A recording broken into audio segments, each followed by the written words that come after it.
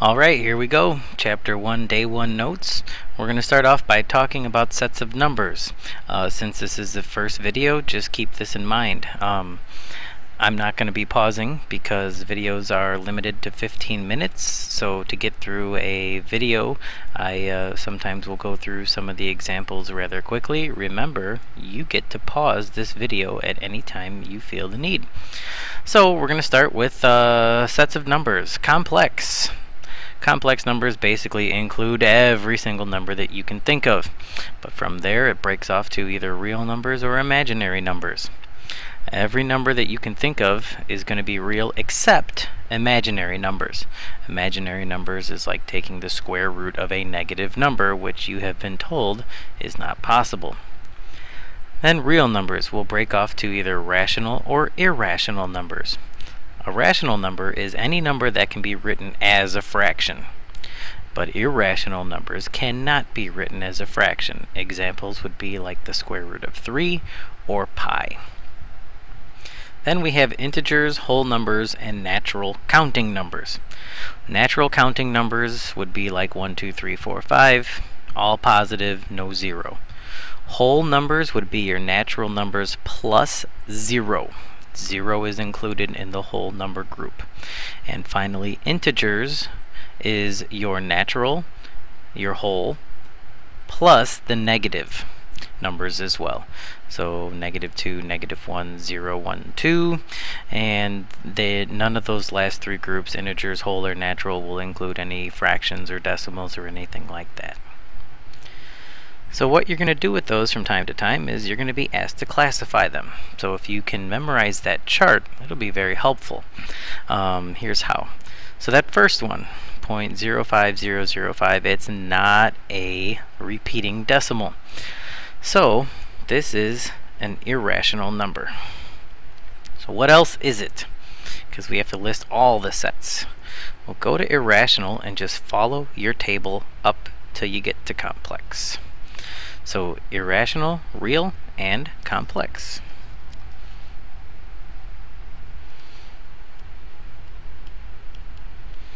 Why don't you guys try B and C?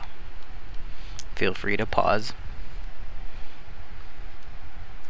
So 21 divided by 7 is 3.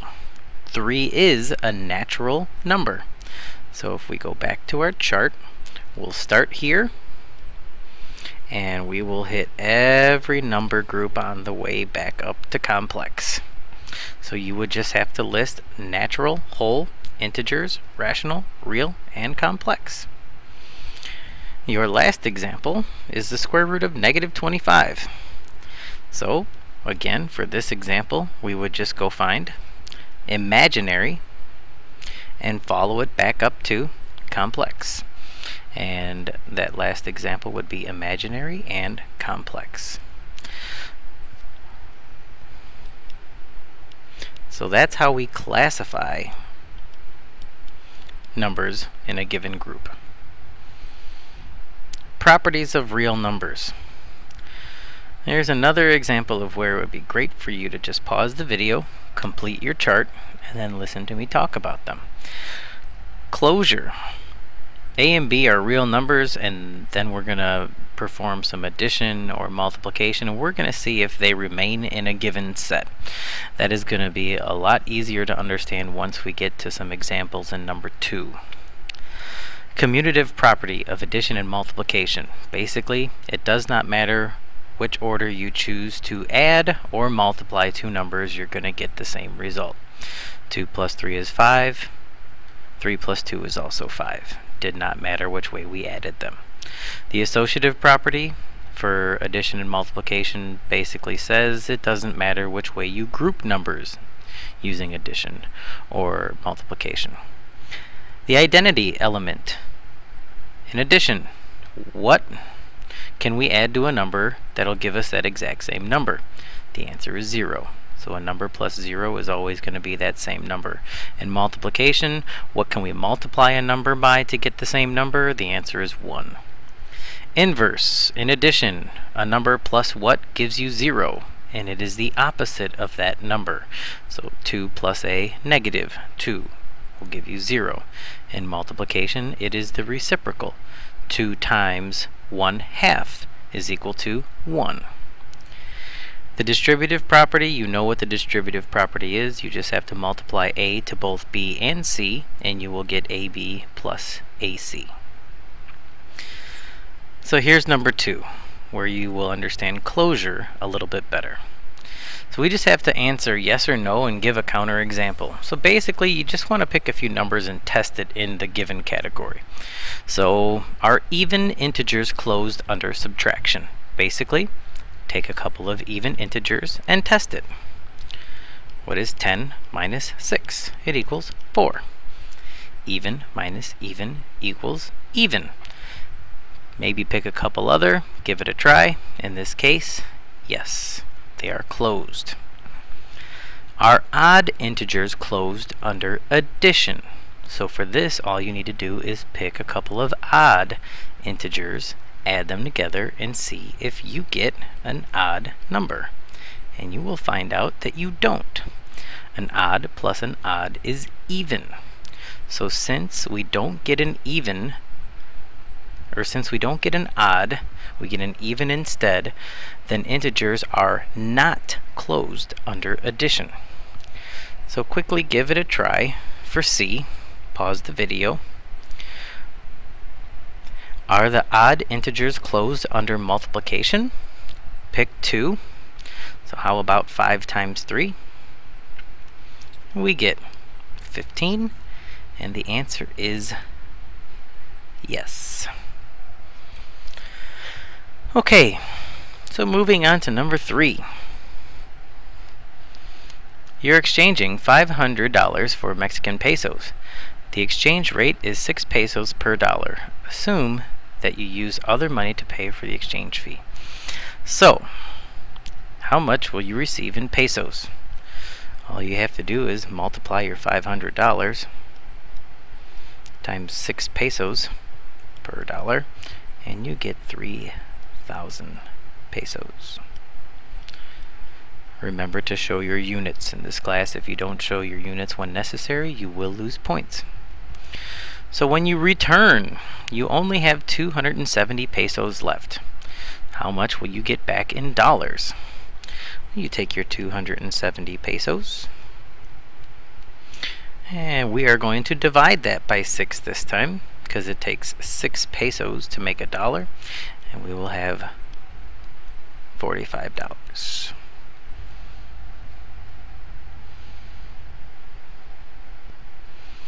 Here's some terminology that you're going to need to know for this year.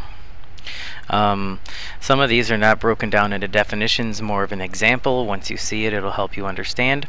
Um, a base, exponent, and power. That's all pretty much a group together. The base is 3.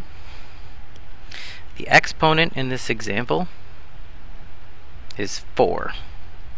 Now if we take this whole thing, 3 to the 4th power together, that's a power. Okay, so now we're going to move to variable. You guys know what a variable is. It's a letter that represents a number in some sort of an equation or expression. An expression versus an equation. An expression does not have an equal sign. So an expression would be 2x plus 5. That's an expression. But this entire thing, 2x plus 5 equals 15, that would be an example of an equation because we have an equal sign. No equal sign is an expression. A mathematical model. That's an expression that re uh, represents real life. Next four, term, coefficient, constant, and like terms.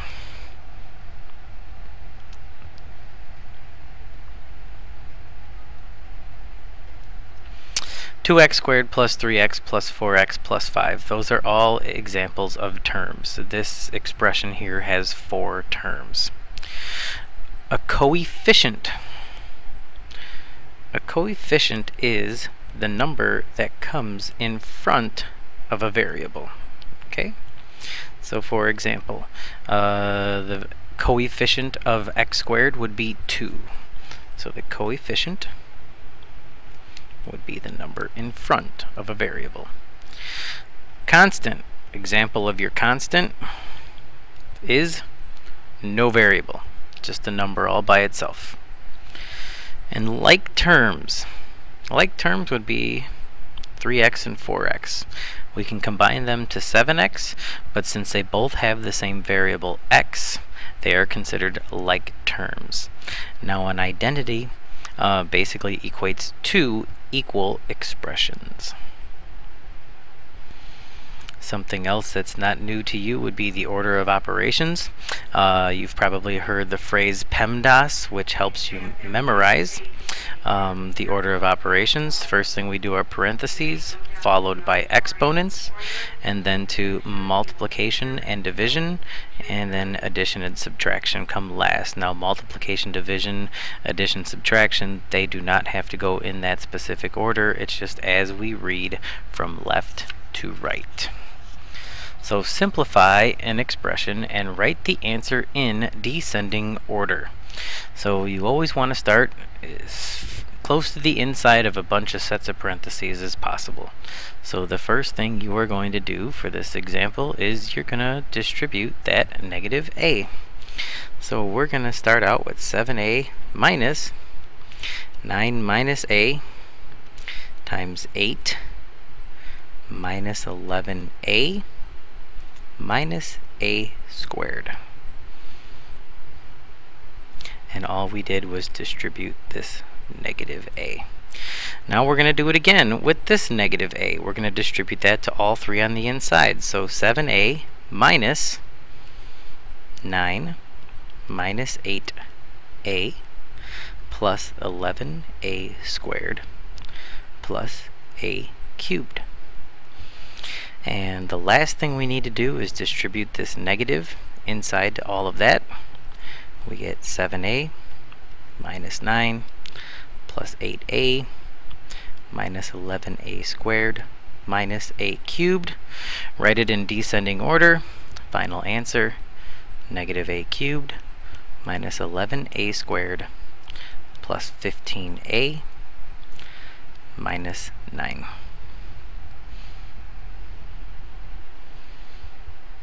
Our last couple examples.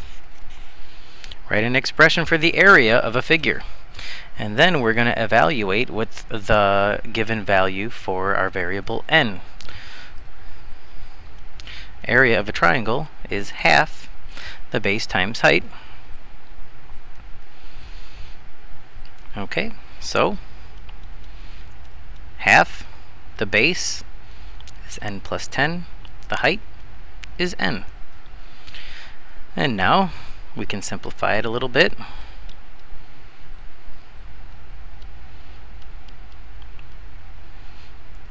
All I did was distribute this and then all we have to do is substitute in 40 for the number n